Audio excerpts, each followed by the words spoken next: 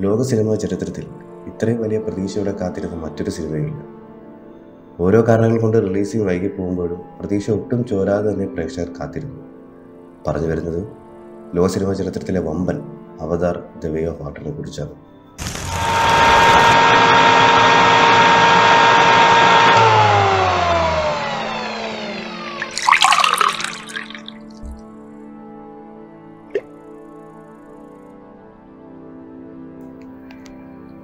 James Cameron എന്ന സംവിധായകനെ പ്രത്യേകിച്ച് ആർക്കും പരിചയപ്പെടുത്തേണ്ട കാര്യമില്ലല്ലോ.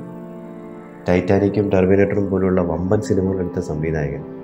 രണ്ടായിരത്തി ഒൻപതിൽ അവതാരമായി എത്തിയപ്പോൾ നമ്മളെല്ലാം അമ്പരുന്നതാണ്. പാൻഡോറയും അവിടുത്തെ നീല മനുഷ്യരും നമ്മളെ അത്ഭുതപ്പെടുത്തി. പതിമൂന്ന് വർഷത്തിന് ശേഷം അതിന്റെ രണ്ടാം ഭാഗം എത്തുമ്പോൾ പ്രേക്ഷകരുടെ ആവേശം ഒട്ടും കുറഞ്ഞിരുന്നില്ല.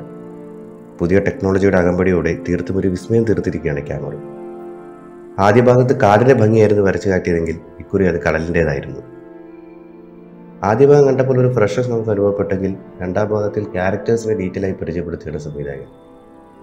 ജേക്ക് സല്ലിയും അയാളുടെ ഭാര്യ നെയ്ത്തിരിയോടൊപ്പം അവരുടെ മക്കളായ നിതയ തൂക്ക് ലോക് തുടങ്ങി.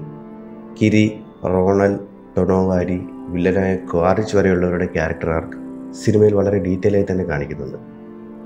കഥ അത്ര പുതുമയൊന്നും ഉള്ളതല്ലെങ്കിലും കഥ പറച്ചിൽ രീതിയാണ് അവതാർ ദേവിയ പാട്ടറിനെ വ്യത്യസ്തമാക്കുന്നത്. കുടിയേറ്റമായിരുന്നു ആദ്യ ഭാഗത്തിലെ കഥാതന്തുവെങ്കിൽ. ഇക്കുറി അത് അഭയാർത്ഥിത്വമായിരുന്നു. ജേക്ക് സല്ലിയും കുടുംബവും സ്കൈ പീപ്പിളിന്റെ മടങ്ങിവരവോടെ അഭയാർത്ഥികളായി പാൻഡോറിയുടെ മറ്റൊരു ഭാഗത്തേക്ക് എത്തുകയാണ്. അവിടുത്തെ ജനങ്ങൾ വെള്ളവുമായി ബന്ധപ്പെട്ട് വസിക്കുന്നവരാണ്. അവിടെ എത്തിയ സല്ലിക്കും കുടുംബത്തിനും അവർ അഭയം നൽകുകയും കടലുമായി ഇടപഴകാൻ അവരെ പഠിപ്പിക്കുകയും ചെയ്യുന്നു. പിന്നീട് അങ്ങോട്ട് വെള്ളത്തിനടിയിലുള്ള കാഴ്ചകളുടെ കൗതുകത്തിലേക്കാണ് സംവിധായകൻ പ്രേക്ഷകരെ കൂട്ടിക്കൊണ്ടുപോകുന്നത് ഒടുവിൽ സ്കൈ പീപ്പിളുമായുള്ള പോരാട്ടത്തിൽ എല്ലാവരും ഒരുമിച്ച് ചേരുകയാണ്. കൂടുതൽ പറഞ്ഞ് സ്പോയിലർ ആക്കുന്നില്ല. വെള്ളത്തിനിടയിൽ ശ്വാസം ഹോൾഡ് ചെയ്ത് മിഷൻ ഇമ്പോസിബിളിലൂടെ ടോം ക്രൂസ് നേടിയ റെക്കോർഡ്. ഏഴ് മിനിറ്റ് പതിനാല് സെക്കൻഡ് കൊണ്ട് മറികടന്ന് കേറ്റ് വിൻസൺ തിരുത്തി കുറിച്ചത് സിനിമ ഇറങ്ങുന്നതിന് മുമ്പ് വാർത്തയായതാണ് പുതിയ തരത്തിലുള്ള ക്യാമറ എക്യുപ്മെന്റാണ് അണ്ടർ വാട്ടർ ഷൂട്ടിന് ഉപയോഗിച്ചിട്ടുള്ളത്. ത്രീ ഡിയിൽ അതിമനോഹരമായ ദൃശ്യവിസ്മയം തീർത്ത അവതാർ ഇനി വരാൻ പോകുന്ന മൂന്ന് നാല് അഞ്ച് പാർട്ടിന് വേണ്ടി പ്രേക്ഷകർക്ക് കാത്തിരിക്കാനുള്ള വക നൽകിയാണ് അവസാനിക്കുന്നത്. എന്നാൽ നെക്സ്റ്റ് പാർട്ടിന് വേണ്ടിയുള്ള ഹിന്റൊന്നും സിനിമയുടെ അടുത്ത് വരാനില്ല. സാധാരണഗതിയിൽ എന്റെ ക്രെഡിറ്റ്സിന് ശേഷം ഒരു സീനൊക്കെ വരാറുള്ളതാണ്.